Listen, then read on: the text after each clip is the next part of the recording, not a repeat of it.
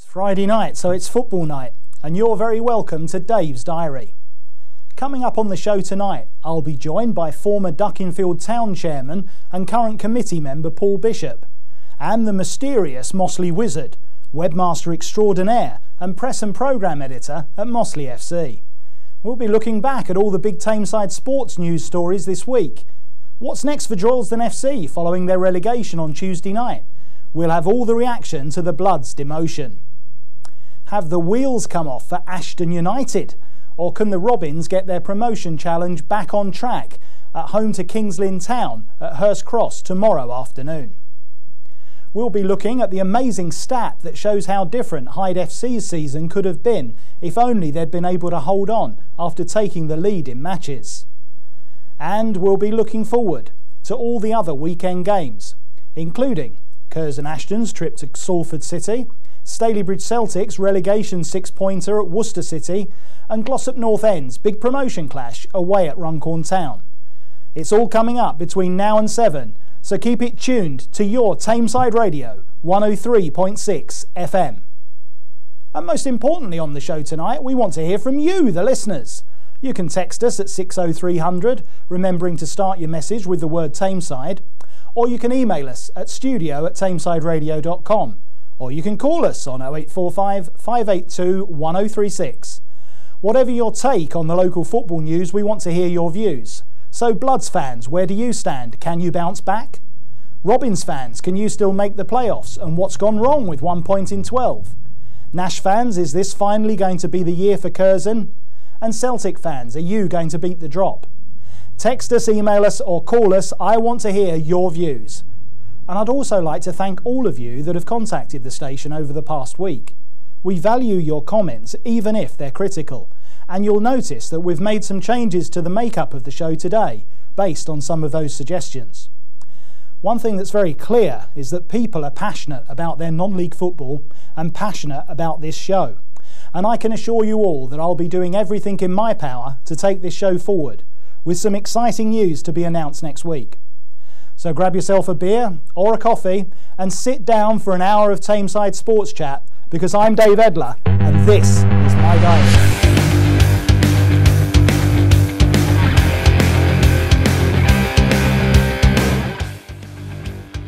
Well, I'm delighted to say that I've been joined for my first interview today by Paul Bishop.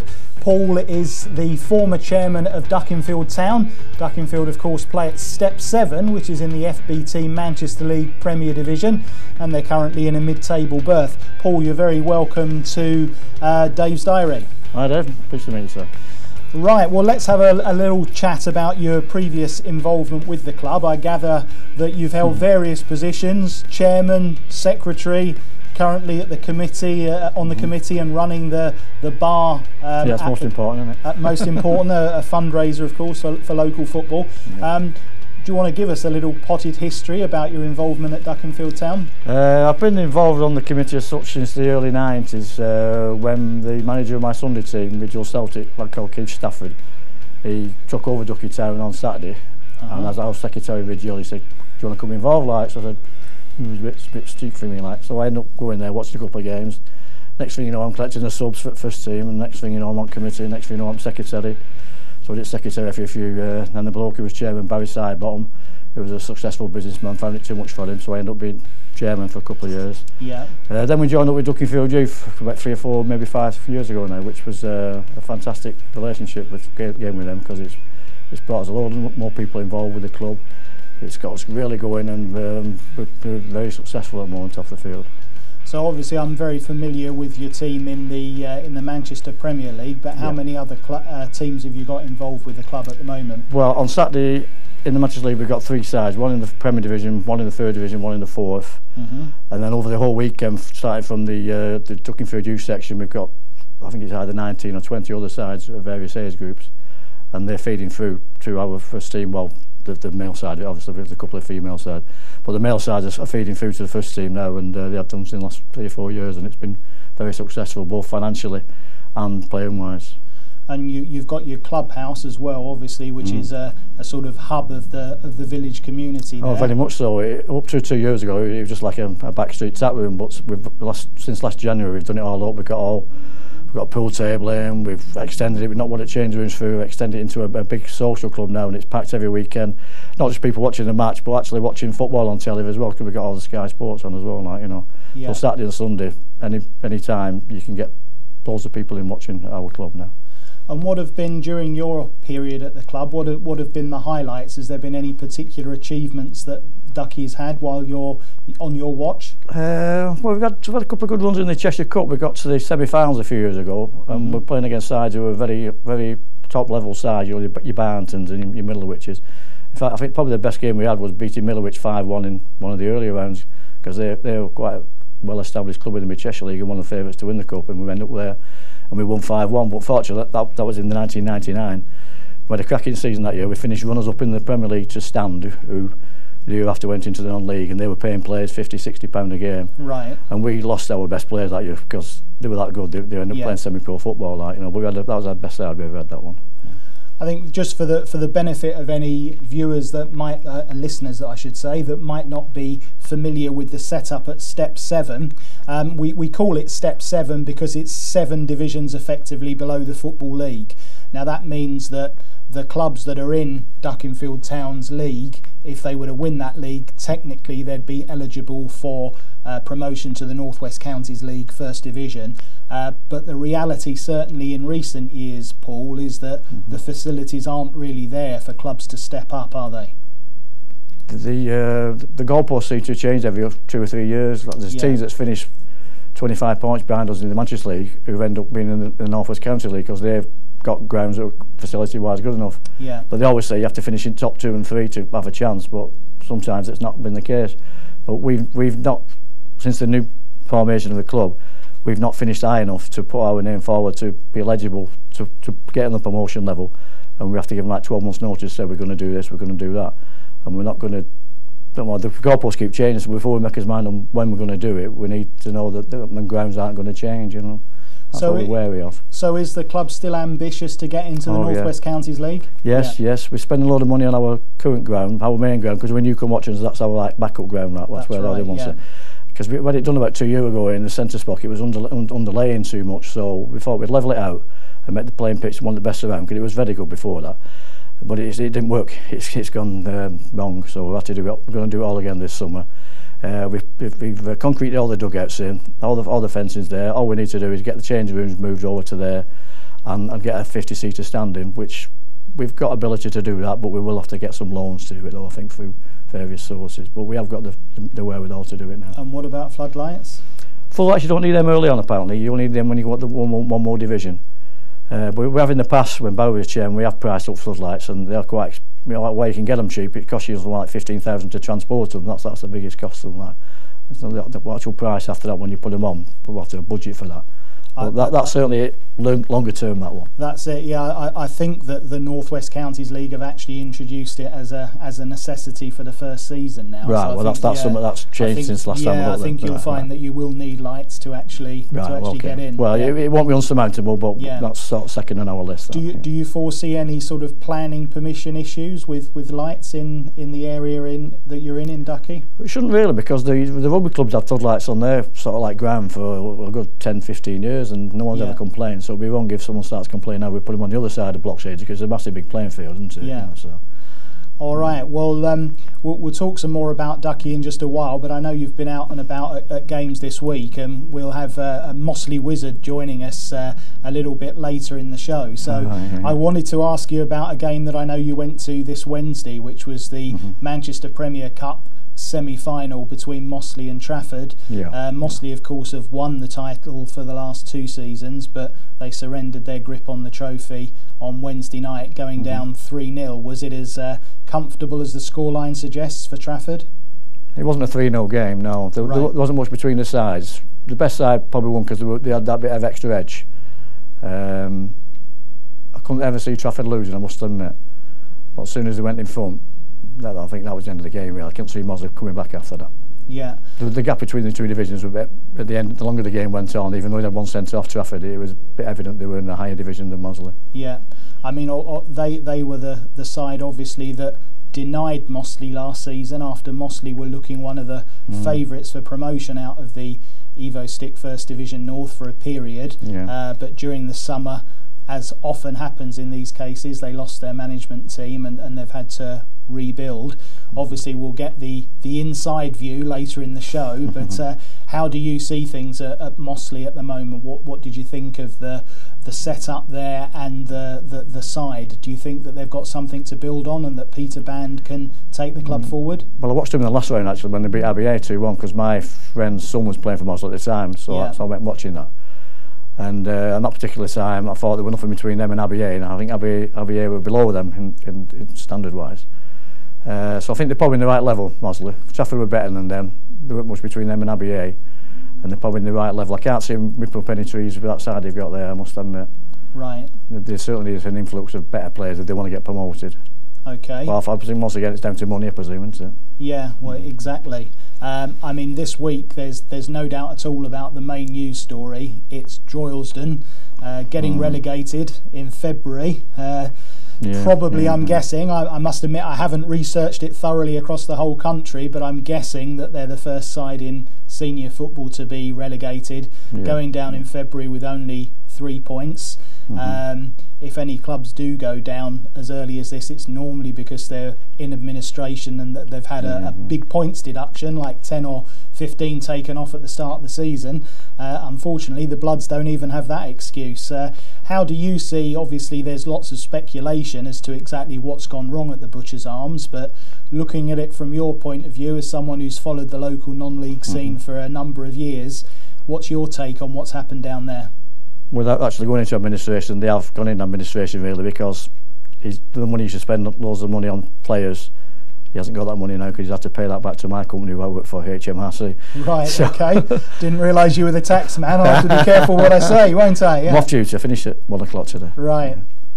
Um, so, you, do you think it's it, it's purely that that it, that it's just that their finances have caught up with them and Oh, that yeah, there yeah, was yeah, there was nowhere for them to go? Yeah, he was paying silly money money out when they won, when they got through to the conference, he was paying, so I believe anyway, I never actually saw any wage packets, but he mm. was hmm. playing silly money out for people from, from the other side of Merseyside coming over, and they won, you know, silly, silly money.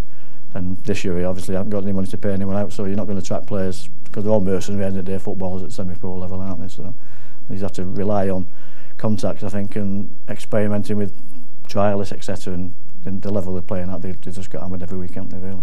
I think one of the other additional problems they had was that until I think just after Christmas they had a, a transfer embargo um, imposed on them by the league as well, which meant that they were very limited in the people that they could bring in Yeah, because yeah, literally it was only people that weren't assigned to any other club currently, um, and obviously there aren't many people that are, Mm-hmm. Good that are level, in that yeah. category. Yeah. Um, so because of that, it made it equally, you know, even harder for him. Mm-hmm. To their credit, I think results have been improving for them in recent weeks. They came within a whisker they of winning yeah, at uh, at Barwell a couple of weeks ago. Um, I think it was the fourth minute of injury time that, that Barwell equalised. Mm-hmm. Uh, but that's all part of the thing that when you're down, you're really down, aren't you? And and getting back into that winning mentality, Habit, it's, yeah, it's yeah. very difficult to get across the finishing line, isn't it? Yeah, I'd have had the same problem, haven't they? Yeah. yeah. In a higher division, obviously, but yeah, same mentality, isn't it? You've got to win, haven't you? That's right. I mm. mean, Hyde at at least have managed a one victory so far this season. So yeah. uh, Still haven't won at home, have they? they haven't won at home. No, of their um, of their nine points, uh, six have been away from home. And I've got an interesting stat coming up on that. So so let's actually have a look at, at Hyde as we, as we as we start to preview uh, this weekend's games. Um, Hyde travel to face Braintree Town down in Essex, uh, Cressing Road. Braintree are in 16th place. Uh, they've played 27 matches, which is actually much less than most of the other sides in the Skrill Premier, and they've got 42 points. I think that Cressing Road has been one of the grounds particularly affected by the bad weather down south recently. Hyde, of course, are bottom of the table with nine points, um, and they've played 34 games. But I've got an interesting stat for you, Paul. I don't know what you'll make of this, but Hyde have had a habit of losing leads in matches this season in the league. If Hyde had actually won all the Skrill Premier games that they'd taken the lead in this season, they'd now have 40 points, and they'd been they'd be in 17th place in the league table. Oh, wow. That's why there's a lot of stray dogs in Leeds, in uh, Hyde then, because all the leads have gone. Oh, that's right. Yeah, absolutely. But when I see a stat like that, I mean the club, obviously their policy has been to back Scott McNiven, um, both Yeah, both yeah. coming from the board, and to a degree, uh, I think there's been some opposition, but but broadly speaking, I think the fans have been on board. Mm-hmm. Uh, uh, and that's great. You know, they, they, they see that, that the club is trying with limited That's what it is, resources to, to do what they can. But having said that, when you look at a stat like that and see that they were actually ahead in that many games and, and that they've dropped 31 points from a leading position, do you not have to look then at the management and coaching of the side and say, well, in a situation like that, isn't this really a coaching issue? Isn't it something to do with the manager? Could be a fitness level Yeah. position, couldn't it? Yeah. and, and do they have to take a, d- a degree of bu- blame for, for throwing all those points away? Uh, as a bloke from Stalybridge, I'm not bothered at either losing, must admit. but, but as an outside looking in, Yeah. they were they were playing against full-time professionals who train all the time. They're a lot fitter. I do only part-time, so that's good. It's going to make a difference. So that, that's probably half of the reasons why they're letting it So, go. so, so your take on it really is that towards the end of games, which, which is true, it has been the case that they've surrendered a lot of winning positions late on in games. Mm-hmm. That it's purely a case of, of the fitness starting to tell, and that's why the other teams come through. I think quite a lot of it would be real, realistically. yeah. All right. Well, there is one chance for, for Hyde to salvage their season when they try and go one better than uh, than Mossley did and reach the Manchester Premier Cup final. Um, On Wednesday night, they're travelling for, for what's relatively a, a local derby away to New Mills of the um, Evo-Stik, of course, uh, First Division North. Um, even despite the wretched season that, that Hyde have been having, would you expect them to get through that one and get into the cup final? Looking where New Mills are on the league table, I'd have thought whatever side I turn out should be good enough to beat New Mills on the day, on the night even. Yeah. All right, and would you, if they manage to do that, then based on what you've seen on Wednesday night, would you fancy Trafford to give them a decent game in the final? Well, I'm guessing Idle put the first team out in the final, so I think Idle still beat Trafford. Right. So there, there is a chance for a bit of a silver lining at the Yeah, end of their yeah I'd, I'd season. have thought so. Yeah, have they, have they, have they, well, subject to when the final is and when, what league games they got left to play. Because I presume they're going to be already relegated by the time. So Absolutely. Well, you heard it first here on on Tameside Radio. Hyde are going to win a trophy this season. So uh, if it doesn't happen, don't blame me. Address all your letters to Dukinfield Town FC, marked to the attention of, of Mr. Paul Bishop. Um, there's time for us to have a quick look at, at some of the other fixtures before uh, before the break. We've got Worcester City, obviously against Stalybridge Celtic, which I know is a is a team that you've got some interest in. In that game, uh, we've got Lewis Hatch, Callum Warburton, and Christian Platt all out through injury, and Sean McConville uh, misses the match through suspension after being sent off against Stockport County. Just to give you the relative positions, it's very tight down the bottom there, uh, with the exception of Workington, who, to be honest, do look as if they're already gone. Workington played 26 and 15 points. Second from bottom, we've got Gloucester, uh, played 27 on 22 points. Then Oxford City in the final relegation position at the moment played 26 points 24. Then we've got both Celtic and Histon on played 29 and 28 points. And then one ahead of them is Worcester City, who have played 30 and 32 points. So if Celtic were to manage to win at Worcester tomorrow, then they would move to within a point of Worcester, with Keith Briggs' men having a, a game in hand. But they have already lost at home to Worcester at Bowerfold earlier this season. So what's your take on that one? Do you think it's uh, it's the time that that Stalybridge's uh, poor run can can end and they can come back home with the three points? well, I believe they played all right last week when they drew one all. With, was with Brackley Town, yeah. Brackley were not a normally decent side up there, and Mm-hmm. the, the result apparently they brought a couple of lads in from Preston, and they put a bit of life into the team. So they were lucky not to win apparently, even though it was a late home goal. Um, when I last time I watched Bridge Celtic just before Christmas, they played Boston, and they drew three all. They should have won about five one. Right. And my take on it was the defence was poor. hmm Uh, they all and they had, diff- every time they have different keepers in all the time. They've not got a, a settled back four or back five, whichever you want to call it. And so they're always edging when they give free kicks away and corners. They're always looking like the team are going to score. Going forward, they look pretty well.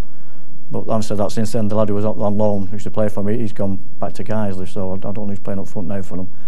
But they look, they've got individual football wise, they're pretty good. But they're missing the spine, the, the strong lads right through the centre. So that, I mean, years ago, Alan Hansen said he went out with kids. And everyone laughed at him because had won the league that year. Exactly. But what yeah. he didn't realise was, what he didn't say was he had Schmeichel in there, so draw a kid in centre midfield and, and Cantona up front. So if you've got three players like that in any side, we'd be a better side. And that's what Stalybridge Celtic need. They need three older heads in their team. Well, of course, Stalybridge have effectively been running as an under 21 outfit for Yeah, the last yeah. few seasons when they took the decision to go full time. Mm-hmm. Um, there's been mixed views on that, I think it's fair to say, amongst Celtic fans, and there still is to Yeah, this day. yeah. Um, the chairman and we understand the manager, though, are, are both very supportive of the policy. Um, what's your take on it? Do you think it's the right way for them to go, or do you think they'd be better switching to a, a traditional part time setup? Uh, well, I was on Tameside Radio about three years ago, whenever it was, when it first come out, come, when the, the idea come in, and I was asked then my opinion then, and I said, well, the jury's out, and now I think the jury's definitely made a decision now, and it's not going to work. Okay. They definitely need order heads in there. Well, uh, just just finally before uh, before we go to the break and, and, and move on to our second guest, uh, just wanted to ask you about your own game away to Old Alts tomorrow in the Old Alts, FBT. yeah, yeah. Uh, what are you expecting from that game? I'm expecting a victory. Um, we've got three lads who play for us. Who, we score goals every week. bang them in left, right, and centre. We've got Tyler Devlin, and he, he scores lo loads of goals from every position. We've got a lad called Danny Parkinson, who's, who's a young lad who scores lots of goals, and we've got called Damo Wheeler, who scores lots of goals. And I think that's the only game of the season where we haven't scored all season. We lost 1 0 and we right. battered them. We just couldn't the back in net. So tomorrow, all things being equal, we should, we should beat them. But they are, one of, they are a bit of a bogey side for us, I must admit, Overdose. When we won the First Division a few years ago, we won every game apart from two. And both, both games were against them. And since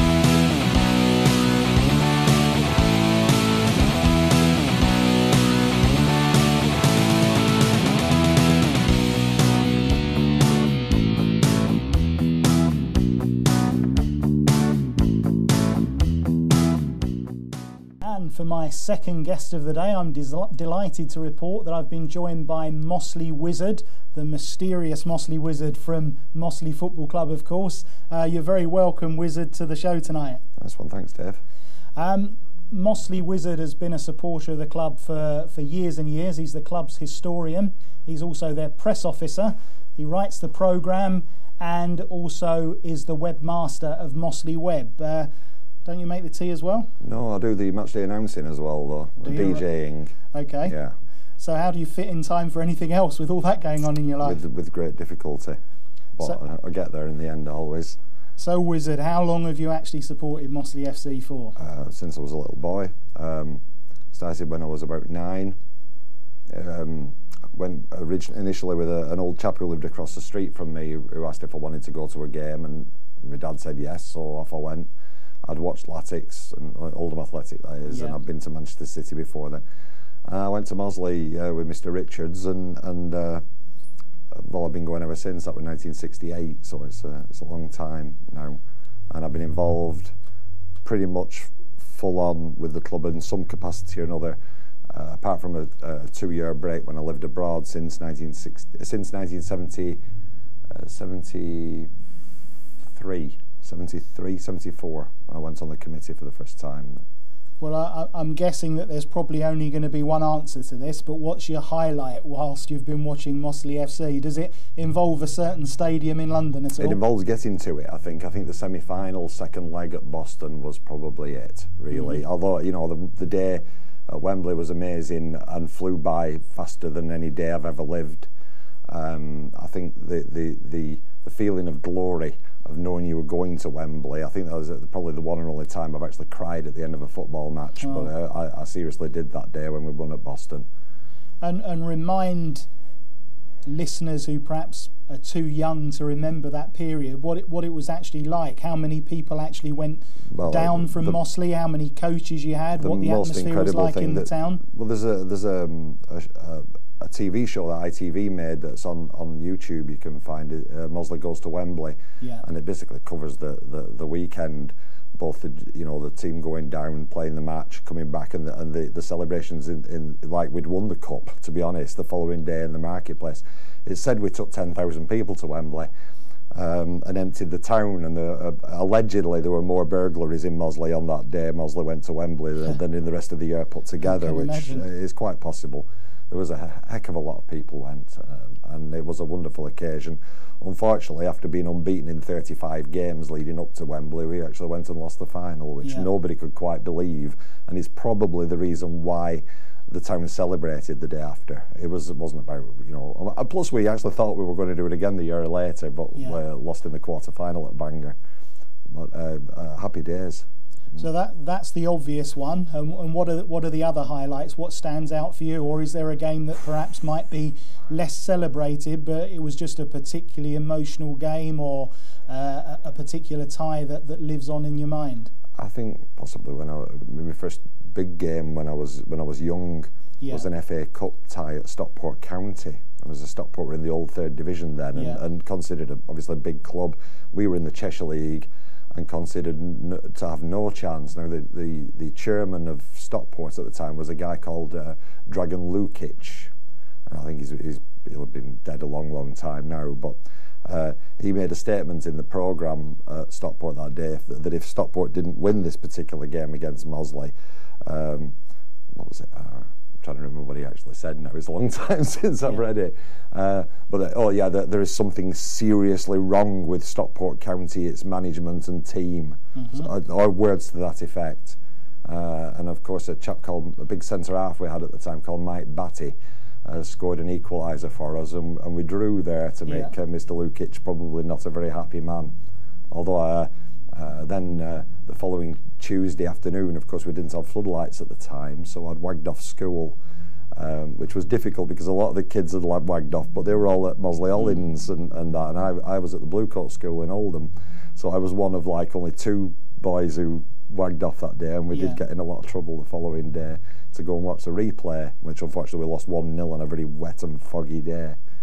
So obviously they were they were very heady days. What what's your take on the problems that non-league football, especially at, at, at, your level, I would say, are currently having in, in, in regard to attendances? Because if we look at football generally, obviously there was the massive slump in the 80s with hooliganism yeah. and, and everything else that was going on through that period. And then we had the rebuilding after obviously events like like Heysel, Bradford, and, mm. and Hillsborough, uh, and the game then w- was reborn effectively after the uh, after the Gazza World Cup and and everything, and, and, and Sky Sports, whatever you might think of them, have certainly transformed the game, and and crowds have come back at Premier level, uh, and the Skrill Premier is getting attendances far in excess of whatever was there before mm. at the top of the non-league game, but mm. below that support has really collapsed it, at clubs like Mossley?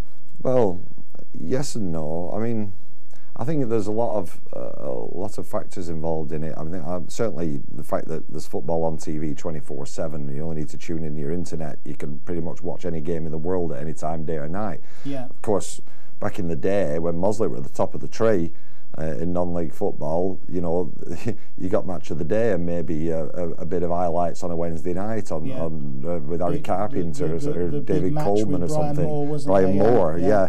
You know, the difference now, of course, is is that. Uh, and I think there's so many other distractions. You know, the kids now are not necessarily drawn straight into football because there's so many other things going on, mm. uh, thanks to your social media, internet, uh, you know, uh, uh, the TV that it's very, very difficult to compete. Plus, uh, there's another aspect to this. You're saying about the attendances at, at the conference national level be, being uh, quite high. Uh, you know, when the, when we were in the old Northern Premier League, and that was the highest league in the north of England, That's it was right, it, yeah. it was equal to what is now the Conference right, National yeah, in it prom- it standard. promoted into the Football the, League in gates across that league weren't dissimilar to the current conference attendances. You've got to remember we're now four levels below that. Yeah. So if you took four levels below the old Northern Premier League, Then you would be way down in park attendances like football. yeah. Where you would have, uh, well, you wouldn't have seen attendances like that. Yeah. You'd have seen much smaller attendances.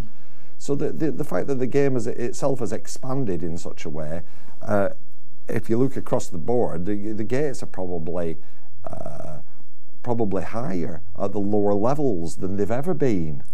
I mean, Uh, uh, uh, it's just that we didn't expect to be leagues pushed in in the spaces between leagues. So we went from being, you know, the next level outside the football league, uh, and then the next year we were two levels. We, we, we won the league and got relegated in effect in 1979 when they started the, the uh, when they started the conference. Yeah. as the Alliance Premier League as it was then.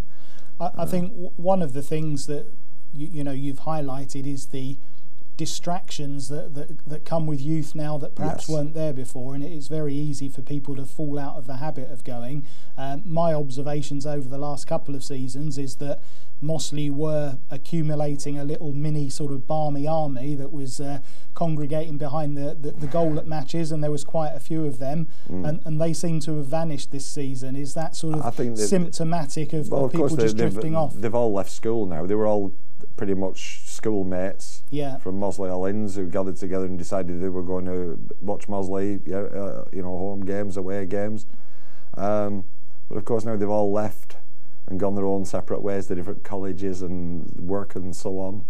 Um, it's that sort of has drifted away. Oh, there's quite a few of them still come, but Yeah. not in the big group that they used to. So they're more scattered amongst the crowd now, like and standing maybe standing with their dads now, Yeah. rather than you know with the mates. So, um, but you know, what I've seen over the years is that people who watched watched non-league football or watched Mossley as youngsters at some point will go back to it. They'll get fed up with whatever else it is they're doing Yeah. on a Saturday afternoon, and, and at some point go back to it because it's always there, and they can always say they support Mossley because they supported Mossley as as youngsters, you know. And I think a lot do that. Of course, last season it was a case of what might have been for the club, and this was, if you like, the the, the time in the modern era when it looked like maybe you were going to get back on, on track again, and, and it was a very successful season in many ways, but but ultimately ending up with nothing after losing in the playoffs, and then again, as often happens at many clubs, you then had managerial changes in the in the summer, players leaving, and, and, and the wheels coming back off. What what's your take on the the highs and lows over the past sort of twelve to eighteen months? Well, uh, last season was obviously you know a, a really good season. We won the Manchester Cup for the second year on the trot. Uh, we got to the uh, on the last day of the season. In fact, in very dramatic circumstances, we got through to the playoffs when we thought it was out of our reach. Um, and the excitement of getting into the playoffs possibly even cost us in the playoff semi-final because I think everybody was still buzzing off the fact that we got into them, uh, and then sadly we lost to a last-minute, quite controversial goal at Cammell Laird in the Yeah. in, in the uh, in the semi-final when at a time when we were actually on top in the game. Um, it was disappointing. Obviously, the manager left for pastures new it, very close to the start of pre-season friendlies, um, and um, the club backed him very quickly in appointing Peter Band as manager, and he brought Lloyd Morrison in as as, as joint manager, and they've basically had to rebuild a new team. Um, and you know, so far so good. They've actually done okay at it, but it's a long, you know, it's a, it doesn't happen overnight with a, a completely new squad to, to get the right balance, get the right players. We had a, a couple of good spells this season, where you know, and we've we've had we had a spell of bad results when we weren't even playing badly, which was very disappointing. You know, results just going against us, um, and it's been a bit of a topsy turvy season. But I think really, uh, realistically, you know, we're looking at next season as Yeah. to maybe having a go at, at getting in at least the playoffs. You know, having having given the management a season to get Yeah. get a, a squad together, and obviously their first full pre-season for next season, uh, and I'm I'm sure we'll be okay. Well, I, I, deliberately won't ask you what you think of your, your current management uh, uh, setup because obviously, as, as an official of the club, that that would be uh, that would be unfair. But what I would like to ask. well, ask, I'm biased in their favour at the moment. Yeah. I actually, you know, they're both really good blokes, and and uh, get on with them very well, and I hope that you know will continue for a long time. Well, well that's good. But but but I was going to the question I was going to ask was who stands out for you as, as the great manager of Mossley during all these years that you've been around? If I had to put you on the spot and say uh, who, who was the manager that I'd that be an idiot if I didn't say Bob Murphy. It was the right. guy who you know we won the league twice, got to Wembley. We, yeah. we were runners up in the league the next three seasons after that. Basically for five years we, we ruled mm-hmm. the roost. And he was the manager at the time, so it would have to be Bob Murphy. He's, he's something of a legend. The people behind the scenes at that time were a big influence on on, on my involvement in Mossley, which were uh, Jim Warmby, who was the club secretary at that time, and Ian Moorcroft, who was the chairman. Yeah. Um, you know, they were all very influential characters in that that era of Mossley FC. Uh, but Bob Murphy, uh, he, he, was, you know, he, he was the most successful manager, so he'd have to be the, the top dog. Okay. Well, uh, coming back to the, this weekend's action, you're, you're away at uh, at Lancaster City. Obviously, yeah. you've had a disappointment in midweek that you weren't able to complete the treble of wins in the Manchester Premier Cup. Mm. You went out to Trafford on on Wednesday night. Yeah. Um, how do you see the, the club being in shape for Saturday? Do you think there'll be any sort of reaction from that defeat, or will you go to the Giant Axe in, in good heart? Well, I think we'll go into the Giants Axe in good heart. Um, the lads will always give it their best shot, whatever the uh, opponent is. Lancaster obviously a good side. We've beaten them twice this season, as it happens already in the league and mm-hmm. FA Trophy within the space of a few days earlier That's on. Right, yeah, I remember so that. They'll, yeah. they'll be looking to, to bounce back from that. Plus the fact they won at Darlington on, on, on in midweek, which is no mean feat in itself. So we, we know we've got our, our, hands full with a very difficult opponent tomorrow, but I'm looking forward to the game. It, it, there's no reason why we can't do very well up there. We were we were uh, lacking our, our centre forward on Wednesday night, who, who will be who was cup tied, and he'll be available tomorrow. And I'm I'm told that you know we've got reasonably uh, close to full strength squad to choose from. Okay. Uh, tomorrow, so uh, well, best be, best of luck with that. Yeah. Um, obviously, there, there's only one main news story on on Tameside this week, and, and that's the relegation of Droylsden in mm. in February.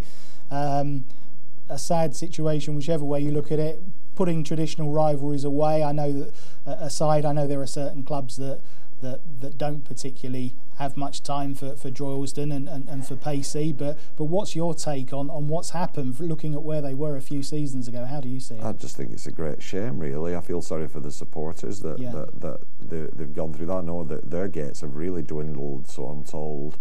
Uh, we, we played them earlier on in the season in the first round of the Manchester Cup and won, won comfortably and, and they did look a poor side to be yeah. fair and they, they've changed so many players over the course of the season they even signed a few you know what I would suggest are, decent players I mean at the moment they got Sam Madeley playing up front for them which I, I don't quite understand how that's happened but um, uh, however, they've been relegated. I suppose, I, I suppose Pacey will, will look at you know trying to bounce back next season when you know they'll be in our division so uh, you know we can renew a local rivalry there in the league. It's a it's a good few years since we've actually played Droylsden in a league game. Yeah. Um, so I'll look forward to that one, and uh, you know it'll be the first time I've been to the Butcher's Arms for a long, long time as well. So. Well, just just keeping in your division for a moment before we we have a quick look at the Evo-Stik Premier. Curzon and Ashton, are they going to be in your division uh, next season? That's a good question. They're in it? the box seat I, I, at the moment, away to Salford I, City tomorrow. I'll, I'll own up and say that I, I actually never fancied them, and, and they, they, yeah, they, they keep doing it, and uh, you know, Flanny's got a bit of magic about him somehow, yeah. and uh, I've, I've seen them uh, obviously when they played against us, and I've seen them one other time as well this season, and, and and to be honest, I wasn't greatly impressed on any occasion, but they keep getting results, and that win at, at Warrington last week was phenomenal because Warrington are proper uh, up and under merchants. You Absolutely, know, they basically yeah. bombard you. So, you know, to withstand that and then go and win 5 1, I think that's a tremendous result. And, and if they go up, they go up. Good luck to them. Well, let's just bring the uh, the listeners up to date with the situation at Curzon. Obviously, uh, travelling to Salford tomorrow, then away to Burscough on Tuesday night. Warrington still top of the table, played 30 and 68 points. Curzon just a point behind, 67, played 27. And then we've got Farsley, 31, that's four games more than Curzon with 65 points.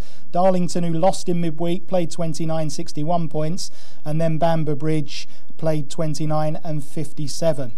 Um, moving into the Premier Division, Droylsden already relegated, as we said, playing FC United of Manchester away at Gigg Lane tomorrow. I guess it's going to be just trying to salvage some pride in front of a big crowd there for them, isn't well, it? Well, that's what they'll, they'll, be able to uh, have a chance of doing, isn't it? You know, and I'm sure nobody fancies them to get a result, but I'm sure Pacey actually quietly might actually think, oh, you never know, we might just pull one off because obviously the, the, the pressure's, the, the off, pressure's off, now, and I've yeah. seen this so many times before when a team's been relegated already, yeah. and then all of a sudden they play like they've just won the league. Yeah. Because they're, they're free. It doesn't matter. It doesn't matter if they lose 10 0 or win, you know, win 1 0 tomorrow, does it, really? Well, well, FC United were caught cold in a similar situation when they lost to Durham City a couple of seasons of course back. They did, yeah. Uh, yeah. Durham, I think, had had 28 straight defeats going into yes, that game. I remember that. And they derailed FC. So yeah. I should think that uh, that Marginson will be a, a bit wary I'm of that. I'm sure he'll be aware of that. Yeah. yeah. Um, and in the Premier Division, Ashton United. Um,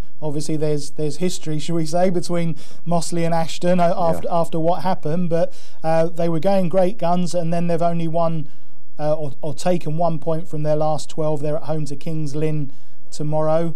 Can you see them creeping into the playoffs, or has the chance gone now? I don't. I don't know if the chance has gone. I think you know teams are. are uh, teams can beat each other as a simple fact. Uh, you know, Ashton are capable of beating Kings Lynn as, mm-hmm. as Kings Lynn are capable of beating Ashton, and the you know Kings Lynn are up there as well, aren't they? They're they're they're you know thereabouts around the the playoff. Um, I think it's a tough tough division up at the top end of it. I think Ashton have done very well uh, to be where they are. You know, it's predominantly uh, uh, an ex-Mossley team. Yeah. Um, so it, you know, it maybe how, it how maybe gives. That make you feel? Oh, well, you know, I was upset at the time. Yeah. I'll own up to that. Uh, I was disappointed in, in certain individuals and upset at the time, but we move on. You know, uh, it's it's history now, and and good luck to them. I mean, we could say the same about Curzon. They've got a number of uh, ex-Mossley players from from uh, an era previous yeah. to to Steve Halford's time at Mossley. Okay. But you know, I wish Ashton well. I went to watch them a few weeks ago against Nantwich, and they did well. They won, and uh, you know, I enjoyed watching the the ex-Mossley lads, Gary G and Cav Coo and lads like that playing for them, uh, Cade Coppin, and I wish them all very well. I, I, I hope they make the playoffs. Yeah. Well, just one final point. I know that uh, one of the things you tweeted in last week was to take music off the show, which Absolutely. we've done. But yeah. you yourself are, in fact, a singer, um, and I believe you've got a, a gig coming up. Uh, do, do, you want us to tell us about that? Well, I can do it. But, um, I, we run um, an acoustic night on Mondays at the Q in in Stalybridge. Mm-hmm. Um, called Acoustic Eclectic, and uh, we have a special guest each week, and then wrap an open mic around it and it's always a really nice night. And on Monday night, our special guest is a, a fantastic singer-songwriter, a guy called Phil Middleton, mm-hmm. who's quite well known locally.